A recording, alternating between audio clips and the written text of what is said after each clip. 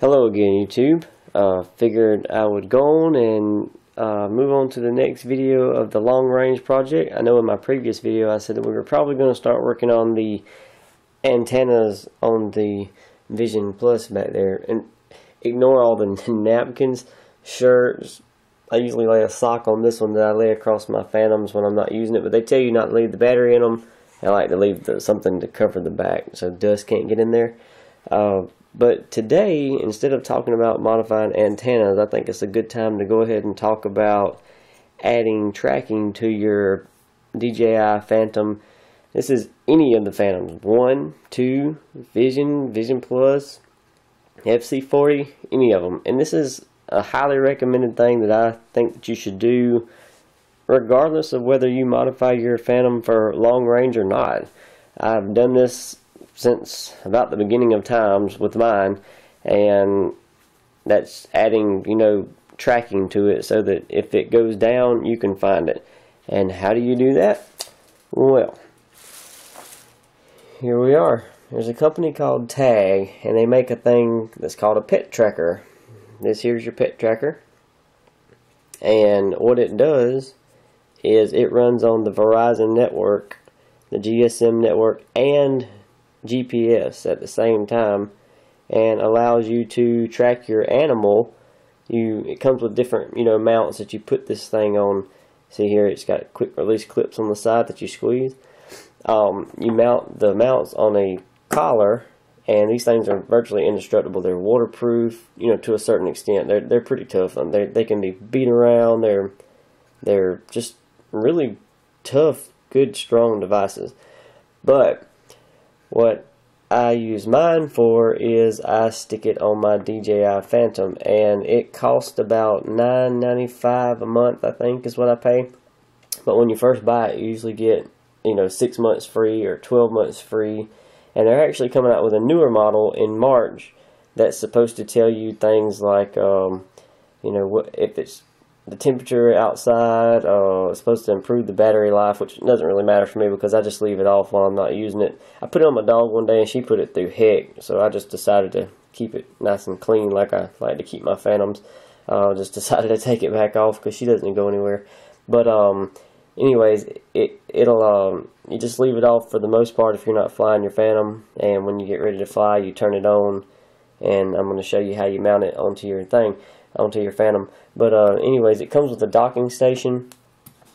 They recommend what you're supposed to do is you get on the application and you draw a circle around an area or you drag a circle out to your home zone, which is where your dog's supposed to be at. And you leave this thing plugged in all the time. And what it does is you can text your tracker, you can text it location, uh, battery, and it'll tell you you know, my battery level's high or I'm in the home tag zone or something like that. And it, it allows the tracker to go into like a sleep mode while it's closer to the docking station while it's in that circle. But if she goes outside of the circle, then it sends you a text message automatically and says, you know, hey, I'm outside of my home tag zone. You can click locate, or you can you can get on the app and either just click locate, or you can text it and say locate, and it'll send you a map, you know, where it's at, things like that. Um, but what what happens is when you leave this thing plugged in, um, if you're in the home tag zone like this, and you're flying your Phantom, and you click locate, all it's going to do is say, "Boo! I'm in the home tag zone," and it won't do any kind of tracking. So what you're going to have to do is just keep this thing unplugged at all times. But when you keep it unplugged at all times, then it starts draining the battery down faster on this, but it's not enough to like, you know, just suck it all down. And it would take a long time for it to even drain it down that way. But what I'm just telling you is charge it by, you know, here, putting it on here until it changes colors and it'll text you um, on your phone whenever it's done charging. But charge it and then unplug this thing. When you're done, don't use it because I've ran into an issue one time where I landed in the woods and it was in the home tag zone. It was back here. Base is over here. It wouldn't track it, so I had to unplug it and wait for a few minutes for it to update so that I could actually track it. So I just don't even plug it in anymore. But anyhow, I'm going to show you now how you mount this thing. Um, trying to think if there's anything else I need to tell you about it. I can show you real quick. Let me show you how instant this thing usually is. You hold the button down until she lights up blue. And you wait just a moment. Let's see. Oh my ALG G2. Uh, it's usually pretty instant. It's probably going to make me look like an idiot today. But, um, it will let me know on the app because actually it's kind of annoying sometimes whenever I turn it on whenever I just get out there to fly because it interrupts my phantom flight by telling me that or interrupts my what I'm doing by telling me that hey my tracker is turned on and blah blah blah. But uh yeah. It's gonna make me look like an idiot. But it's gonna come through I promise. But uh, anyways just hang hold it back down because I like to keep mine turned off until it turns red and then you're off. Um before I show you how you mount this this thing is great like I said um when it goes down it's pretty freaking cool. You um click on the app and it shows a map. It'll give you driving directions walking directions bicycle directions whatever you need. It'll show you on the map where this thing's at. And it shows you like in a dot. To say it's over here. It's going to show like a I don't know like an, an orange dot. And it's going to show you like a blue dot. And if you turn your arrow is always going to be pointing towards the tracker like that until you just walk to it and it took me I mean it took me right and dead on the money right to where it needed to be. Um, so like I said very recommended and it lasts it would last for days if your phantom were to fall but it will take you to your it will definitely take you to your phantom. Okay so how do you mount this thing? Let me show you here real quick.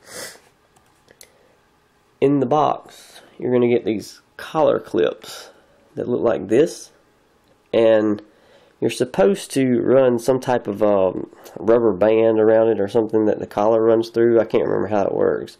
But I just took some industrial strength Velcro and I stick it on there just like that.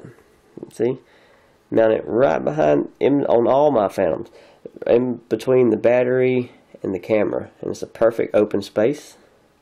And then, I don't know if I'll be able to do this on the phone. I'm, I'm holding the camera here, so let me lay it down for a moment. I'm going to show you what it looks like once she's installed. Very simple. Like I said, you squeeze the tabs, and they hit. They hook around the two little uh, prongs that are on the collar mount. Hang on, just a moment.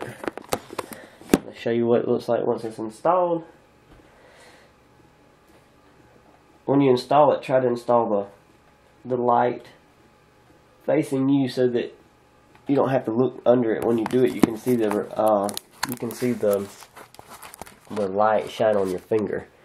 I'll show you what I'm talking about. This is after it's been installed. Uh, put the light towards the battery so that when you reach down with your finger and you turn it on, you can see the, the light. Remember how it turns blue? It'll shine blue on your finger, or it'll shine red on your finger so that you're not having to um, pick it up and be like, hey, is it on? Things like that. But uh, yeah, that's what she looks like when it's installed. It doesn't go anywhere. See? Looks perfect under the back back there. It fits. It looks like it's almost made for a DJI Phantom, to be honest with you. I mean, it curves around perfectly. Uh, it hangs on very well. I've been, when I did the two and a half mile flight, it was on there. So, um, yeah, that's what you need to do. Uh, you can get multiple tiles. I mean, well, tiles. I have a tile also. If I've been saying tile, I apologize because I have a tile to find my keys. But uh, you can get multiple pet trackers. Uh, I think you go to pettracker.com to get this thing um, or you can go to eBay.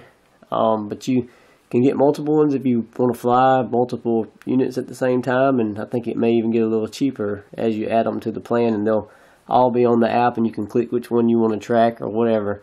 But um, I just uh, have one, and I just swap it around from Phantom to Phantom.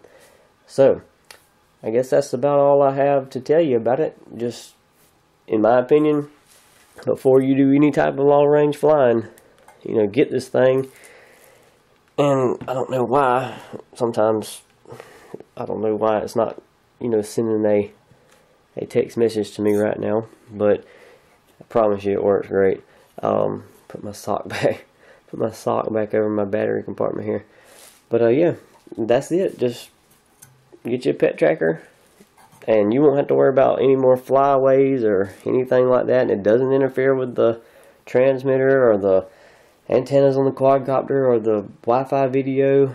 It's not anything to do with that. So uh, just thought I'd put that out there before we move on to the the next step of modifying the antennas, whether that be I'm not sure if I want to do the the Wi-Fi antennas or the actual transmitter antennas yet for the next video. So kind of trying to get gutsy enough to do it, I guess, because I didn't want to butcher up my Vision Plus at all. I kind of wanted to leave it all stock, but for instructional purposes, I guess I may end up having to do it anyway. So, alright, we'll holler at you later. Thanks for watching my video again.